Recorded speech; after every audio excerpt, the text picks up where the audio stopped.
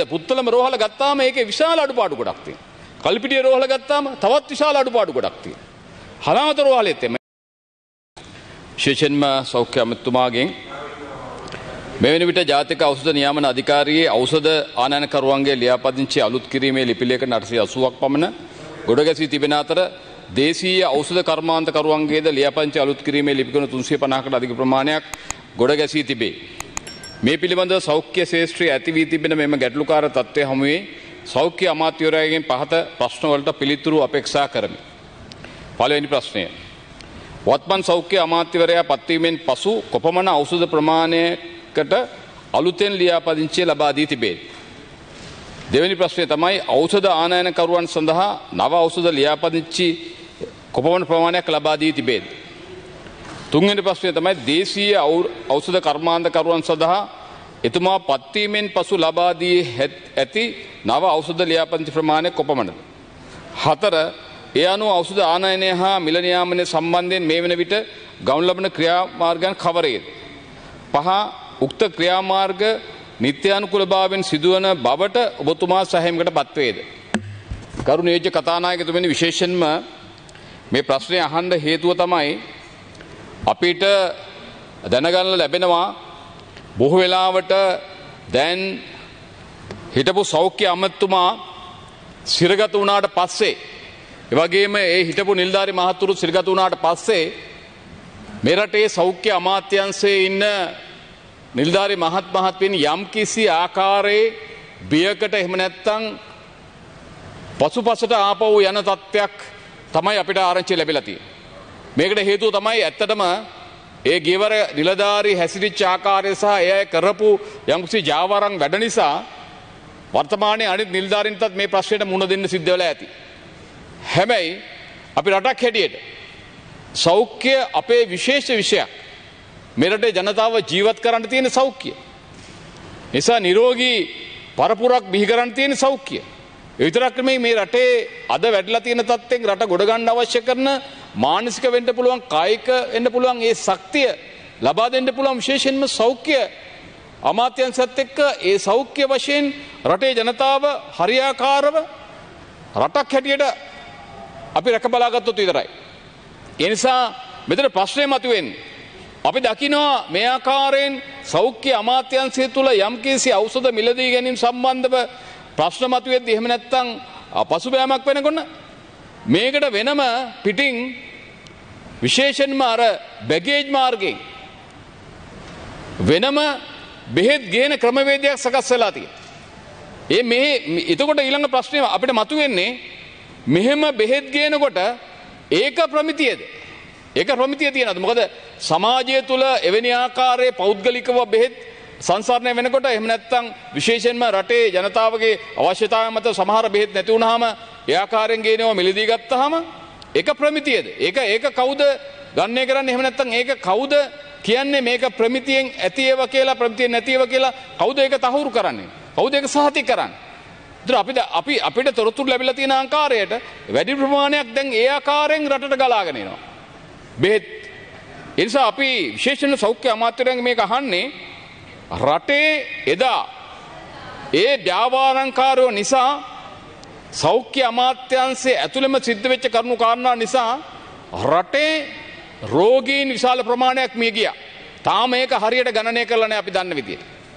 හැබැයි ඒ වගේම දැඩි අපහසුතාවකට පත් වුණා බෙහෙත් සම්බන්ධ. නැවත වතාවක් රට එතෙන්ට තල්ලු වෙමින් පවතීද ඒ කියන්නේ මම කියන්නේ දැන් මේ අය වැරදි කරලා එහෙම නැත්නම් ජාවාරම් කරන කණ්ඩායම් ඉන්නවා කියලා. මම මගේ මගේ විශේෂයෙන්ම ඉදිරිපත් කිරීම තියෙන්නේ අර ජාවාරම් කරුවන් නිසා අපහසුතාවට පත්වෙච්ච සමහර නිලධාරී දැන් යම් ආකාරයෙන් තමුන්ගේ ක්‍රියාකාරීත්වය අඩු කරගෙන තමුන් බොහොම පරිස්සමෙන් වැඩ කරන්න උත්සාහ කරන වෙන්න පුළුවන්. හැබැයි ඒ උත්සාහයේදී මේ රටේ ජනතාවට බෙහෙත් සම්බන්ධව ප්‍රශ්නයක් ඇති වුණොත් එහා සමානව ප්‍රමිතිගත බෙහෙත් ගෙන්වන අයට ඒ නිවැරදි ආකාරයෙන් ඒ ගෙන්වන බෙහෙත් ටික ගන්න ක්‍රමවේදයක් සකස්ුනේ නැතිනම් ඊළඟට දේශීය වශයෙන් ප්‍රමිතිගත බෙහෙත් නිෂ්පාදකරුවන්ගේ බෙහෙත් අරගන්න වැඩපිළිවෙල හරියට ක්‍රියාත්මක නොවි අර වෙනත් ආකාරයකින් බෙහෙත් ප්‍රමාණයක් රට ඇතුළට ඇතුල් වුණොත් එතනදී සිද්ධ වෙන කාරණාව මොකද්ද රටේ කියන්නේ. නිසා එක පැත්තකින් අපිට දකින්න දේ සහ නොදකින දේ මෙතන දෙකක් තියෙන්න පුළුවන්.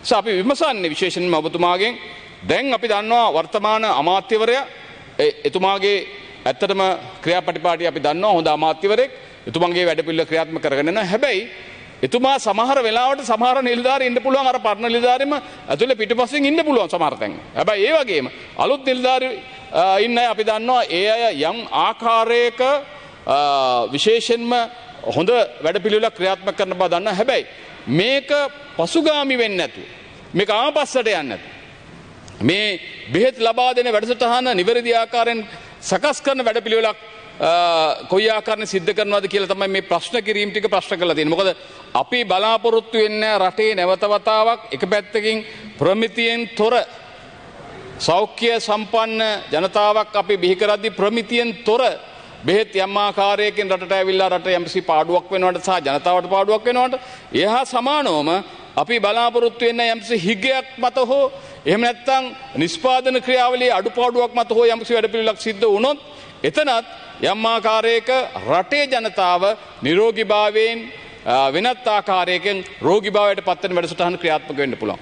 ඒ නිසා රට අද පවතින තත්ත්වය අනුව මේ රට විශේෂයෙන්ම අපි හැමදෙනෙකුටම එකට එකතු වෙලා මේ රට ගොඩ ගන්න අවස්ථාව තියෙන මොහොතේ මේ ගොඩ ගන්න මොහොතේදී නිරෝගිකම රැකගන්න එක විශේෂ වගකීමක් සෞඛ්‍ය අමාත්‍යංශ විතරක් නෙවෙයි සමස්ත පාර්ලිමේන්තුවත් ඒකට වකිය යුතුයි. මොකද අපි එදා සෞඛ්‍ය අමාත්‍යංශය ගැන කතා කරද්දි මේ උත්තරීතර පාර්ලිමේන්තුව ඉඳගෙන අපේ කියපු කතා එකක්වත් ඇහුවේ නැහැ.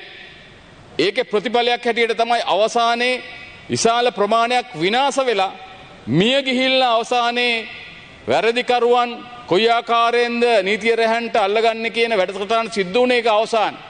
ඒ වෙනකොට පෙරහැර ගිහිල්ලා ඉවරයි. හැබැයි මේ පෙරහැර යාමෙන් ඒකේ සම්පූර්ණ හානිය වුණේ ජනතාවට. නිසා ජනතාවට හානි වෙන්න දෙන්න බැරි නිසා තමයි විශේෂයෙන්ම ඔබතුමාගෙන් මේ කාරණාව ප්‍රශ්නයක් හැටියට අහන්නේ. මේකට විශේෂයෙන්ම ඔබතුමාට එකතු කරන්න පුළුවන් තව කාරණා කීපයක් මොකද හේතුව අපිට රෝහල් පද්ධතිය ගත්තහම රෝහල් පද්ධතියේ විශේෂයෙන්ම එක එක දිස්ත්‍රික්කවල විශාල ප්‍රශ්න තියෙනවා.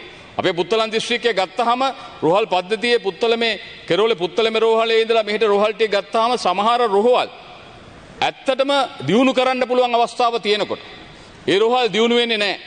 දංකොටෝ රෝහල ගත්තාම ඇත්තටම මේ වෙනකොට ඉතාමත් හොඳ තත්ත්වයේ දියුණු කරලා රෝගීන්ට අවස්ථාවක් ලබා දෙන්න පුළුවන් තැනක්. හැබැයි ඒක දියුණු වෙන්නේ නැහැ. ඒකට එන විශේෂයෙන්ම රෝගී අය වෙනත් අ, රෝහලකට මාරු කරලා යවන එක තමයි බොහෝ වෙලාවට සිද්ධ වෙන්නේ. ඒ වගේම තමයි දැන් පුත්තලම රෝහල ගත්තාම ඒකේ විශාල අඩුපාඩු ගොඩක් තියෙනවා. කල්පිටිය රෝහල ගත්තාම තවත් විශාල අඩුපාඩු ගොඩක් තියෙනවා. හලාවත රෝහලෙත් එම. එතකොට මේ රෝහල් පද්ධතිය ගත්තාම මේ රෝහල් වල මම විශේෂයෙන්ම ඔබතුමාට යෝජනා කරනවා මේකත් එක්කම පරිබාහිරව ඒ ඒ රෝහල් වල බෙහෙත් සම්බන්ධවට වඩා මම කියන්නේ වෙනත් පහසුකම් සම්බන්ධව. ඔබතුමාලා මීට වඩා හොයලා බලන්න වැඩසටහනක් ක්‍රියාත්මක කරන්න කියලා ඉල්ලීමක් කරනවා. මොකද හේතුව රෝගි වෙන කෙනෙක් රෝහලට යනකොට ඒ රෝහල එක පැත්තකින් පිරිසුදුව තියෙන්න ඕන ඒ ඒ රෝහලේ රෝගයා පාවිච්චි කරන බොහෝ දේවල් අඩුපාඩු නැතුව ඒ රෝගයාට යම් විදිහක සැනසීමක් ඇතන එන්න ඕන ඒ ඒ කියන්නේ තමුන්ගේ මානසිකව තමුගේ තෘප්තිය තියෙන්න ඕන යම්සි ලෙඩක් පුලා ගියාම එක පැත්තකින් බෙහෙත් දීලා විතරක් නෙවෙයි බෙහෙත් දීලා ආ, ලෙඩේ සුව කරනවා විතරක් නෙවෙයි මානසික තෘ- තෘප්තියකුත් තියෙන්න ඕන රෝගයා විශේෂයෙන් රෝහලට ගියාට පස්සේ. ඒ නිසා අපි බලාපොරොත්තු වෙන්නේ මේ රෝහල් පද්ධතිය මීට වඩා විශාල වෙනසක් කරන්න පුළුවන් කියන එක.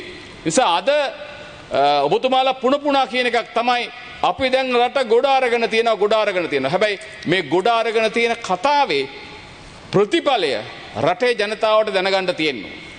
ප්‍රතිඵලය- ඉදිරිපත් කරන්න. ප්‍රතිඵලය ජනතාවට ඇත්තටම තාම හරි විදිහට දැනගන්න ලැබිලා නැහැ. ඒ නිසා මම ඔබතුමන්ලගේ ඉල්ලන්නේ විශේෂයෙන්ම රෝහල් පද්ධතිය ගැනත් මීට වඩා විධිමත් ක්‍රියාවලියක් ක්‍රියාත්මක කරන්න එයා සමානව සොයලා බැලීම් කරන්න එයා සමානව ග්‍රාමීය රෝහල් වෙන ආකාරයෙන් තියෙන පුංචි රෝහල් තියෙනවා ඒ එතන ඊ타මත්ම දුප්පත් ජනතාව තමයි ඒ රෝහල් වලට යන්නේ. ඒ නිසා ඒ ඒ ඒ දුප්පත් අ, ජනතාව නියෝජනය කරන ප්‍රදේශවල ඒ පුංචි රෝහල් ටිකත් ඔබතුමන්ලාගේ විශේෂ අවධානයට යොමු වෙලා ඒවලත් තියෙන අඩුපාඩු ටික සකස් කරන්න කියලා විශේෂයෙන් ඉල්ලීමක් කරන ඔබතුමාගෙන් මම බලාපොරොත්තු වෙනවා මේ සියලු කාරණාවලට අ, පිළිතුරු දබා දෙයි කියලා බොහොම ස්තුතියි බොහොම අවස්ථාව ලබා ස්තුතියි.